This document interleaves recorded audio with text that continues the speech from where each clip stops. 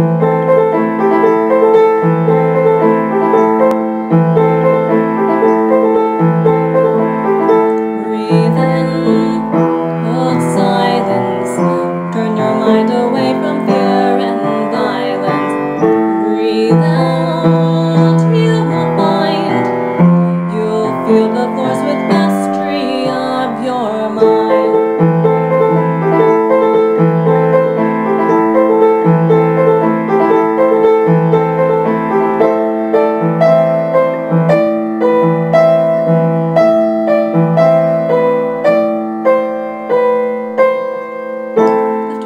at the age of six, my world tunneled down to the goal of fixing. Not a war fought far, far away, but an endless, lonely life spent in endless days. Every night I looked to the stars, calculating travel time and distance and hours, wondering where's my family. This is really where I was meant to